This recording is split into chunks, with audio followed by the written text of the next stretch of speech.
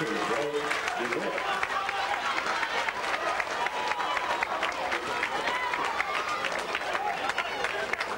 the Sikeston team and crowd would rather have at the plate now than DeWitt.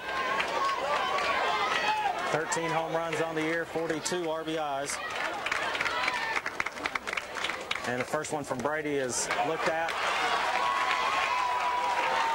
by DeWitt for strike call 0-1.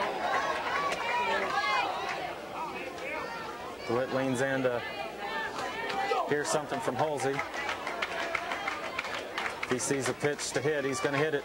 There it is. Grand slam by Blake. Big blow by the pitcher. Blake DeWitt. Grand slam.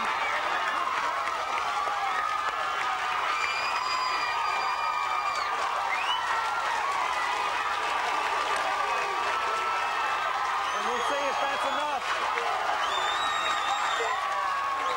for the Bulldogs.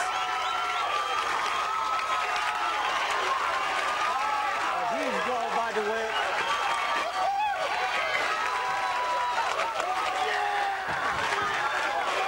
As I said, there's nobody else he'd rather have at the plate than Blake DeWitt in that situation.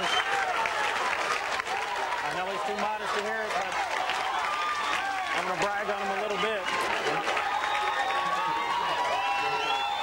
Baseball America last week named him the best overall hitter in high school, and you can see why there as he launched one over the 350 sign in right center. It doesn't matter which side they're throwing from, Blake can hit it. In steps Friday, strike call. What a huge blow by DeWitt. Gives Sikeston their first lead, four to three.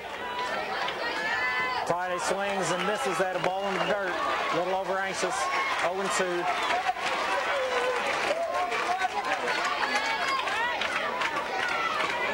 Next one from Brady. High and away. Ball one. We just can't say enough about what a money player Blake DeWitt is. There's a grounder to third. Nice hop over to first and out. But the Bulldogs with a huge inning and the big blow by number six, the pitcher, Blake DeWitt. A grand slam. Give he take it away. As the Bulldogs head to the top of the sixth with a big lead, four to three.